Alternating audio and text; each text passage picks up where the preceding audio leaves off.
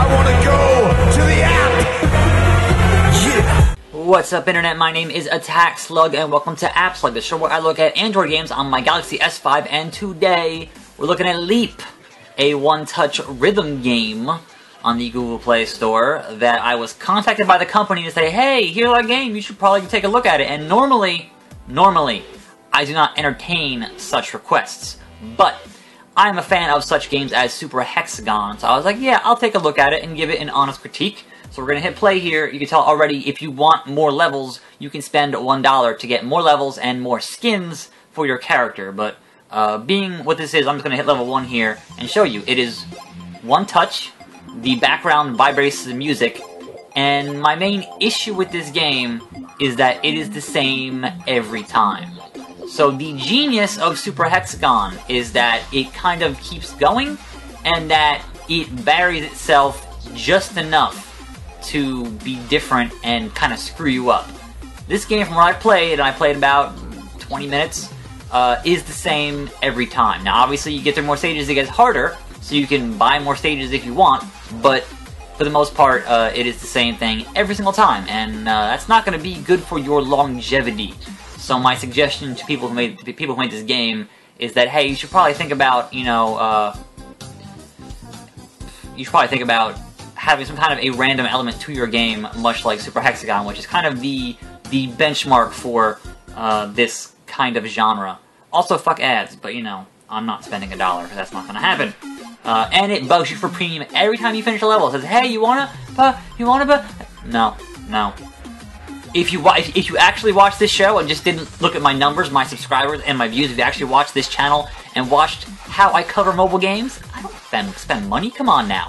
These videos don't make back the money it would cost me to buy the thing to get rid of the ads, so it's not going to happen. Anyway, uh, no back out here to the level select. So I will show you where I got up to, which is level 4, uh, from what I played. Now, for me personally, I think that the touch stuff in this kind of a game is the the way, the way they're handling the momentum, the back and forth uh, in how you actually control the game uh, is not quick enough for me. Like the you have to really plan out your back and forth because when you hit, there's like, you see that? There's not, like, it's not fast enough. Like, I'm tap, I can tap real fast. I'm, I'm, it's still the leeway there. The leeway.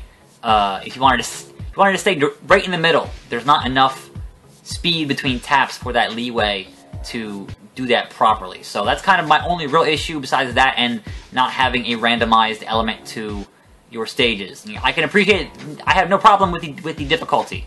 Certainly if I played enough of it, I would get past it because this is a game, very much, these stages are memorization. So I can memorize these stages and then eventually get past them. Uh, I'm not going to have that kind of a patience. It's not how I, you know, usually approach mobile games.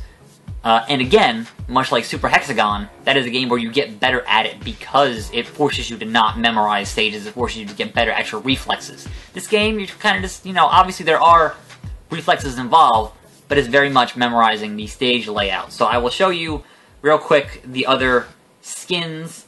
Uh, personally, not a big fan of the dubstep soundtrack, but that's just my personal taste in music. Uh, and you can see here there are these skins for your little square here, little pixel guy that you can get. And if you want internet memes like Doge, that will cost you the $1 that it costs to uh, get rid of the ads and get more skins and more levels. So, you know, not a bad value for $1. It's not just getting rid of the ads, there is more stuff to it. And you do get more skins. You, you start with four skins, and you get more as you beat levels individually. Um, so there's there, there's certainly that. But uh, personally, if I, if I, wanted to play this kind of a game, I would, you know, again, I'd play I'd play Super Hexagon. That's just me. So nothing but love for T Terry Cavanagh and uh, his library of games. Uh, but yeah, so this is Leap.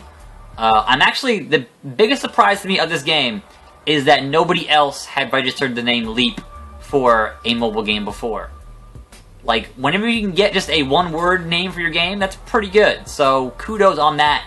Whether or not, you know, that's a good thing for your SEO, uh, I guess remains to be seen. Because certainly if you're contacting a nobody like me for this kind of thing, then obviously you're not doing well on your, uh, downloads. Anyway, that being said, I'm going to bop out of here uh, and tell you that there's an ad, and uh, this has been App Slug. This has been Leap. My name is Attack Slug. I am not buying premium, and uh, I will see you next time, right here on this channel. And I'm out.